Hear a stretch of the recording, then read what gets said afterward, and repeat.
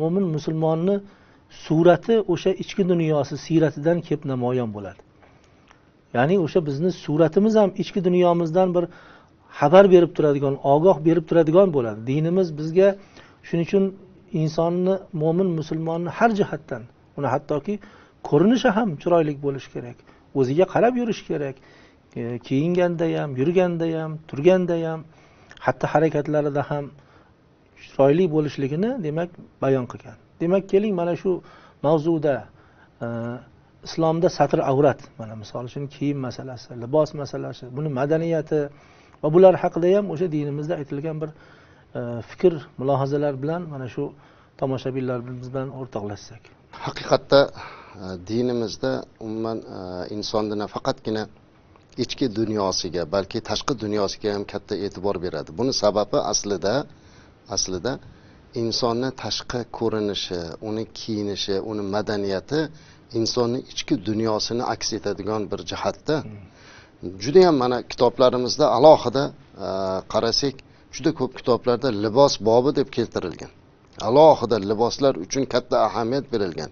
Fiq kitoblarimizda yoki hadis e, kitoblarimizda libos uchun alohida bob ajratilgan. Va buni ustida bir qancha e, munozaralar ketgan. Fiqda ketgan munozaralar o'sha kiyimlar bobida umuman libosga bunchalik darajada katta e'tibor bergan boshqa din yo'q deb aytsak mubolag'a bo'lmaydi. Nima uchun bunchalik darajada? Nega endi libosga shu darajada e'tibor berilgan dinimizda shunchalik mayda narsaga e'tibor berish kerakmidi deyilsa ulamolar aytadiki yo'q libos bu insonni ichki olami. Mana hozirgi e, ruhshunoslarni e, o'rganishlari ham shu narsani ko'rsatyaptiki insonni kiygan kiyimi uni ruhiyatini namoyon qiladi va insonni ma'naviyatiga ta'sir qiladi. Masalan nima uchun e, askarlarga maxsus kiyim kiydiriladi? Nima uchun askar bizni oddiy fuqaro kiyimida yurmaydi? Birinchidan u unga o'sha shijoat beradi. Chunki u askar kiyimida turibdi.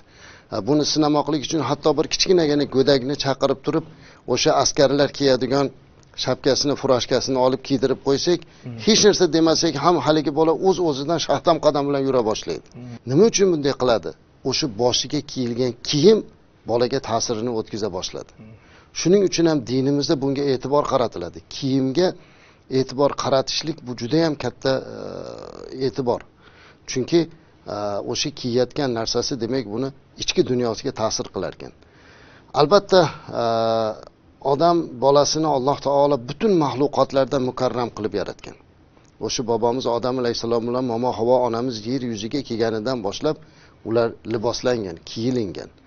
E, boshqa maxluqotlardan boshqa mavjudotlardan bizni alloh taolo mukarram qildi. Qur'onda o'zi aytadi karramna bani adama. Biz bani odamni ya'ni odam alayhissalom avlodlarini hamma maxluqotdan ko'ra mukarram qildik. Mana shu mukarramligimiz ulardan ko'ra ajrab turishligimiz ko'p jihatlarda aqlimiz bilan. Masalan e, boshqa maxluqotlardan e, biz nutqimizda ajraymiz aqlimizda ajraymiz va eng asosiy ajraydigan narsalarimizdan bittasi bu libos. Ana o'shuning uchun e, libosga e'tibor berishimiz kerak libos deganda biz faqatgina kiyish emas umumiy tashqi qiyofamizga ko'rinishimizga musulmon e'tibor berish kerak alloh taolo qur'oni karimda aytadiki astaizu billah ya bani adam قد أنزلنا عليكم لباسا يواري سوآتكم وريشا ولباس التقوى ذلك خير ذلك من آيات الله لعلهم يذكرون صدق الله العظيم الله odam bolalarini barchasiga aytyapti bu yerda Ey odam bolalari biz sizlarga libosni nozil qildik kiyimni nozil qildik.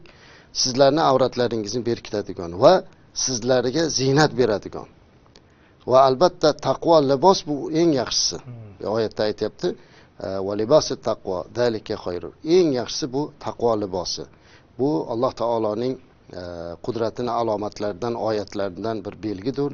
Shoyatki e, bir eslatma olsalaringiz deyapti alloh taolo oyati karimada ko'rinib turibdiki libosni uch qismga bo'lib qo'ydi. Hmm.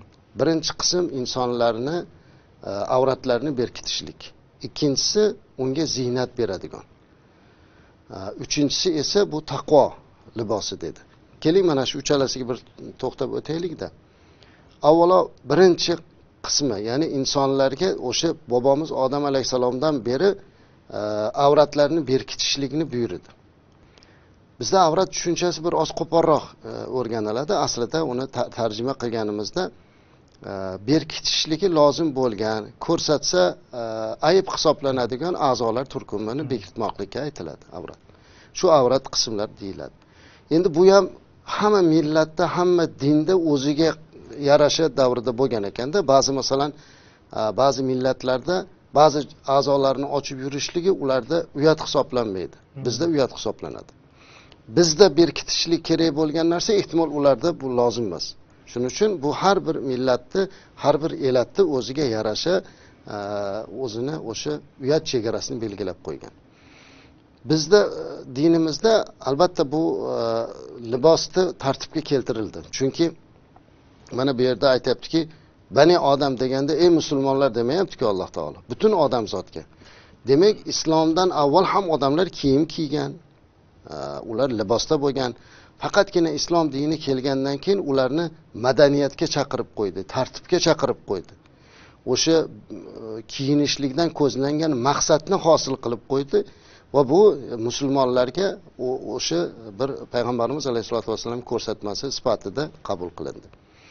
Ana shu e, o'zini uyatishligini hayosini to'sadigan darajada kiyinishlikni birinchi qism deyayotgan bo'lsa ikkinchisi bu ziynat qismi ya'ni yasanishlik uchun e, ham kiyiniladi go'zallanishlik uchun.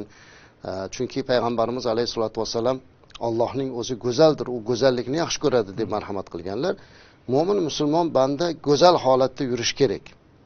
Kiyinishida ko'rinishida hatto boshqa bir hadisda payg'ambarimiz alayhissalom mo'min musulmonlarni xuddi yuzdagi bir holdek ajrab turishlik hol insonga qanaqa bir chiroylik bag'ishlab turadi ko'rinib turadi mo'minlar ham jamiyatni ichida shunaqa hol kabi ajralib tursin. Ko'rgan odam bu odamni ko'rib uni kiyinishidan uni tashqi qiyofasidan undan rohat olsin ajralib turganini ko'rsin. Mana shunday qilishlikka chaqiradi. Shuning uchun ziynatlanishlikka ruxsat beradi. Ammo mana shu ziynatlanishlikni ham chegara qildi. Kibrga berilib ketmaslik maqsad faqatgina kiyimdan iborat bo'lib qolmaslik topgan mablag'iga kiyim olib faqat shu kiyinish bilan yasan tusan bilan ovora bo'lib qolmaslik buyuriladi islomda ammo lekin o'zida bo'la turib buni ataylabdan hokisor yurish ham bo'lmaydi chunki o'zingizga ma'lum payg'ambarimiz alayhissalotu vassalamni oldilariga sahoba kelganlarida o'zi badavlat sahoba edi lekin juda yupun kiyinganini ko'rib judayam xor kiyinib olganini ko'rib hayron bo'lib sanda dunyo yo'qmi? deganlarda bor qo'y mol hamma yo'q bor deganda o'sha narsa ollohni bergan ne'mati senda ko'rinib tursin. Hmm. ya'ni alloh taolo senga shuncha ne'mat beribdi uni zohiri bo'lsin. Lekin kibrlanmagan holda odam o'ta haligi kamtarlik ham kibr deymiz shunaqaga bormaslik kerak ekan. O'ziga yarasha libosda turish kerak endi bu yerda muhim mana bitta narsani alloh taolo oyatda aytyaptiki va libosi taqvo ya'ni taqvo libosi. Mana shu iborani ham hozir ko'pchilik noto'g'ri tushunar ekan hmm. ba'zi liboslarga taqvo libosi deb nom qo'yishib olgan. Hmm. masalan o'sha uzun ko'ylaklar kiyib olsa yoki boshqacha ko'rinish bo'lsa bozorlarda ham taqvo libosi mana taqvo ko'ylagi deb aytyaptida. Bu yerdagi taqvo libosdan murod o'zi aslida ichki e, holat ya'ni odamni ichki olami ichki ma'naviyat kiyimi eng yaxshiroq bo'lsin. Demak dinimiz nafaqatgina tashqi libosga balki ichki libosga ma'naviy libosga ham e'tibor qaratyapti. Agarki u tashqarisiga e'tibor berib ichkari libosini kiyimsiz qoldiradigan bo'lsa bu tashqi ko'rinishdagi na ziynatidan na uni belgilab qo'ygan sunnat kiyimidan hech qanday foyda yo'q. Buni o'zimiz ko'rib turibmiz hozirgi kunda. Ko'rinishini go'yoki o'sha e, sunnatga muvofiq qilib olaman deydida lekin muomalasi madaniyati o'zini tutishi yurish turishida zarracha o'sha ichki libos ya'ni taqvo libosi yo'q. Mana shuning uchun ham bu narsada e, demak biz to'g'ri fahmlab olishimiz kerak. Mana faqatgina dinimiz ichki balki e, tashqi ikkisini muvofiqlashtirib ketishlikka buyurib ketadi.